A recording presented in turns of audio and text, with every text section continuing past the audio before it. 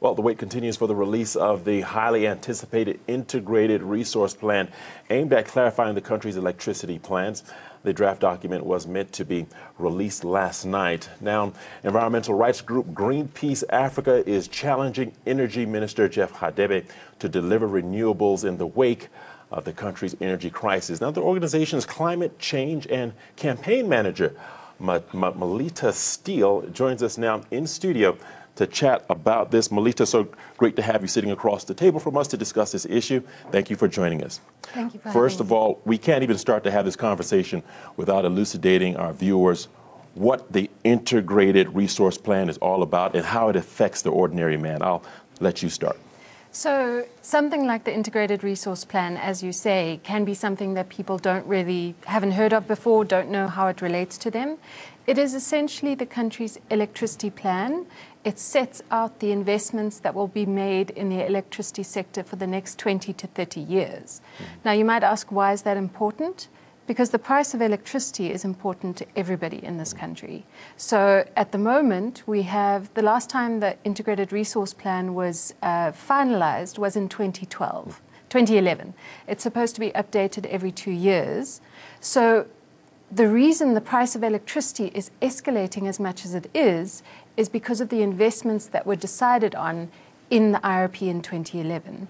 So if we want more affordable electricity, we need this, this plan to come out based on the latest information and evidence and making rational choices to give us affordable electricity. Okay, I like that term, rational choices. First of all, there's no secret that uh, this um, integrated uh, resource plan has been delayed, uh, hasn't yet been released yet. Why is that? I think that's an excellent question, and that's exactly the question that Greenpeace has for the Minister of Energy, Jeff Radebe. Mm. Um, we've actually had three energy ministers in the last year and a half. Each energy minister has promised the release of the IRP, and not a single one has delivered. Um, I think the, the fact that coal and nuclear are in the plan as it currently stands, the old plan, um, there are vested interests that believe that they should continue to remain in the electricity plan.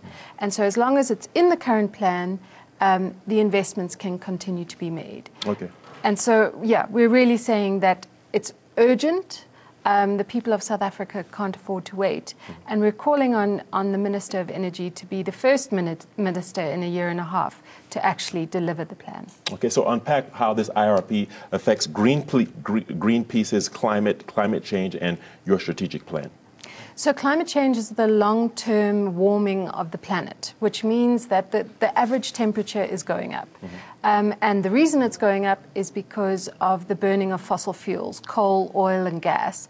Not only do they pollute the atmosphere and damage people's health, but they're actually contributing to climate change. Um, and what happens with climate change is you have extreme weather events. So, uh, climate change tripled the likelihood of the drought in Cape Town um, which was pushing towards day zero. Um, you see floods, you see fires, you're going to see uh, sea level rises.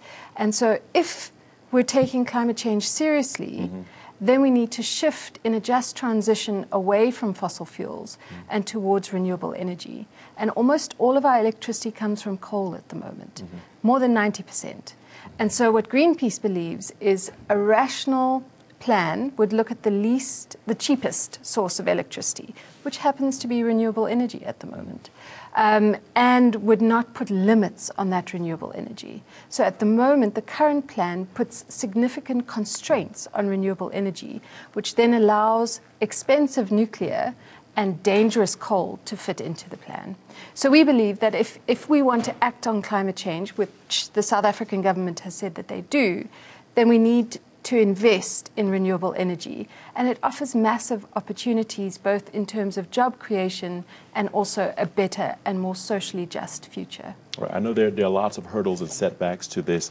Um, the vision is 100% renewable energy.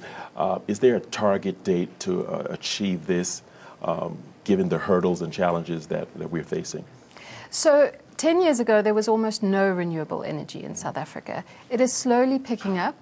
Um, but according to the Paris Agreement, which is a global climate agreement um, where governments agreed to act on climate change, by 2050, we need to be as close to 100% renewable energy as possible. And it is possible, it just needs the political will and the investment. Okay. So, are there any pilot programs in, in place that can currently demonstrate uh, that re- renewable energy is the way to go? So there are a number of renewable energy projects eh, across South Africa at the mm-hmm. moment. Mm-hmm. That are um, successful? That are successful, that were delivered on time and on budget. Mm-hmm. I think one of the complications with those projects is that they're private projects. And so one of the things that we need to see in South Africa is that we have socially owned renewable energy projects. Greenpeace would love to see Eskom start to invest in renewable energy. Um, uh, Eskom at the moment only has 100 megawatts of, of wind in, in the um, grid. And so we would like to see a better Eskom that shifts away from coal and towards renewable energy. Um, and the private projects are showing that it can be done, but it must be done differently at a different scale. Everybody has a rooftop. Um, and if the barriers were removed, every house, school, community, church, could install solar panels and could become an electricity producer on their own. Yeah, I guess you've answered my next question. I was about to ask you what initiatives uh, can be done or implemented to, to get it moving faster. So I think that's one of the, the big barriers to renewable energy is there isn't an incentive, mm-hmm. particularly for rooftop solar. So that is something that is completely decentralized. If solar panels were affordable for ordinary South Africans, um, then there would be a massive uptake. We would start to produce our own electricity. But there must be the right kind of incentives in place um, where you could feed electricity into the grid and be paid for it and still be able to use electricity from Eskom. So those are the kinds of things that need to be um, put in place. But the IRP also sets the trajectory. So if the IRP has a very ambitious goal when it comes to renewable energy, then that's what will be implemented. At the moment, we're really not ambitious when it comes to renewable energy. Well, speaking of that, where, where does South Africa rank with other countries in the world? Well, South Africa has some of the best renewable resources okay. in the world. So if you compare South Africa to Germany, which has a massive uptake of renewable energy, we have significantly better solar radiation and also wind resources. So we're in the top, like 20 countries when it comes to renewable energy. We just need to, potential, we just need to um, have the political will to back it. Okay, let's say uh, renewable energy is 100% successful in South Africa.